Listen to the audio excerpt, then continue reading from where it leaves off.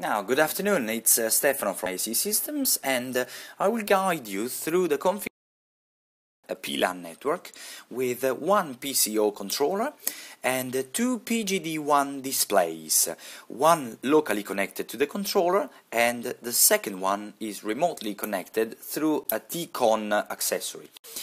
Uh, typically this is an installation where uh, the remote display is installed uh, by a reception where uh, uh, it duplicates exactly the same screens of the local display.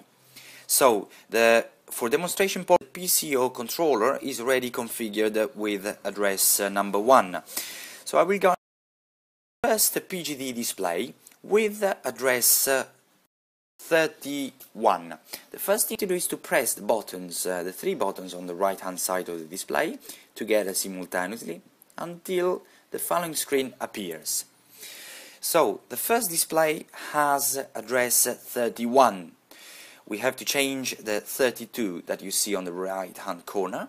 So, with the enter key, we move the cursor on the 32, we decrease this value to 31, and uh, we confirm with enter the field.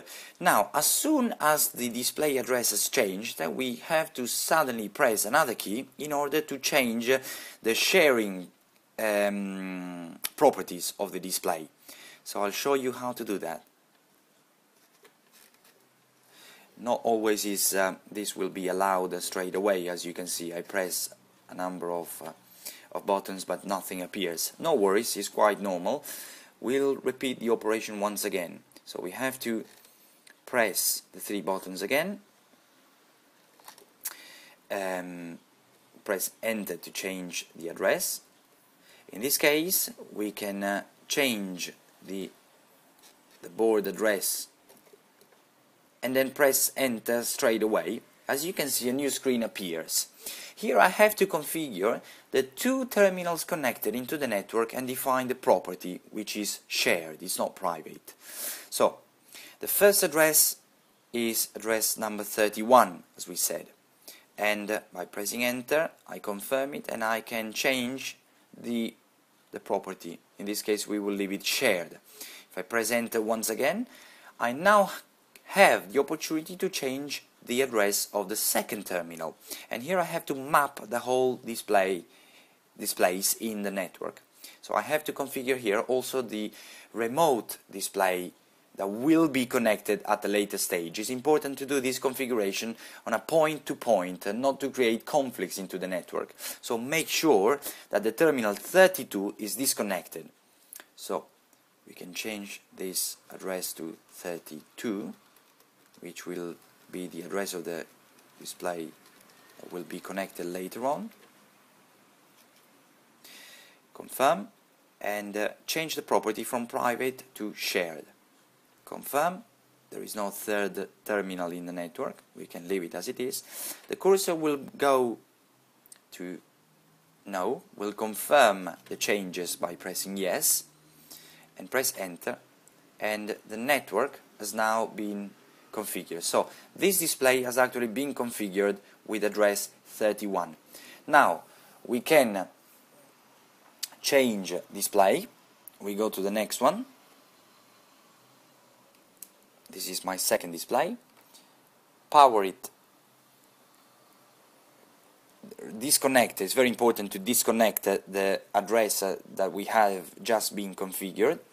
And we will connect the second display which may have different sort of addresses now is a chance that I can see and view the um, this information uh, the information of the of the controller into the network.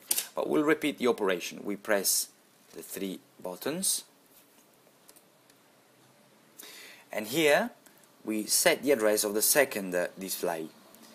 By pressing enter, we put this to 32.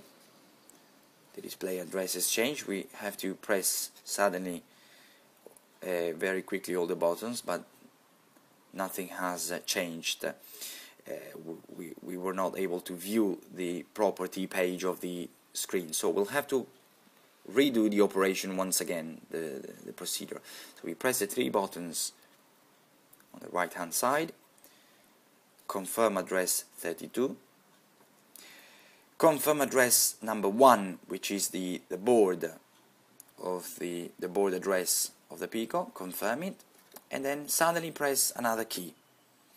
We have to map here the, the terminal addresses like per the other display.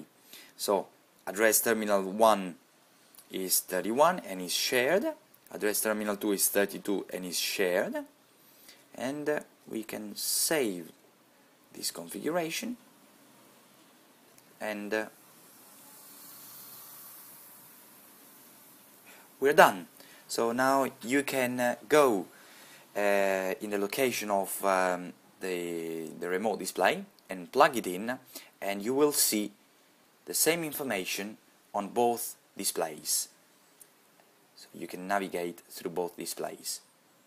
I hope this has been a useful tutorial. Uh, visit our website for more tutorials, more videos, more information on products on sale from Carel. Uh, www.i-acs.co.uk